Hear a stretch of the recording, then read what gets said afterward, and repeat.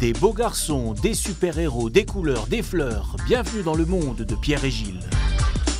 Dans leur atelier parisien, les deux artistes préparent leur exposition exceptionnelle au MUMA du Havre. Un retour aux sources pour Gilles, le Havrais, marqué à jamais par l'inauguration du musée par André Malraux. Il avait 6 ans. Je me rappelle, euh, mon père disait c'est Malraux, alors je ne savais pas qui c'était, mais à, partir de ce, jour-là, j'ai su qui c'était. Et après, j'ai visité le musée et, je trouvais que c'était beau parce que j'aimais bien toute l'architecture moderne. Et puis il est beau d'abord, il est magnifique ce musée, mais en même temps, l'idée de la modernité me faisait rêver. Et Le Havre, pour moi, c'était une ville moderne et une ville nouvelle et j'en étais fier.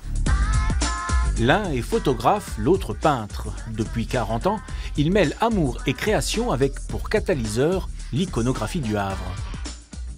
Ça ressemble à aucune autre ville, c'est vraiment particulier, très. On tombe euh, sous le choc quand on la voit la première fois.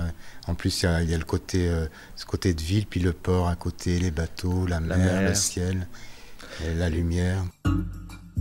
Chaque tableau est unique. Le décor est monté minutieusement avant de reprendre la photo avec le modèle. Puis Gilles repeint sur le tirage photo pour gommer toutes les aspérités de la vie. Il n'y a aucun trucage numérique.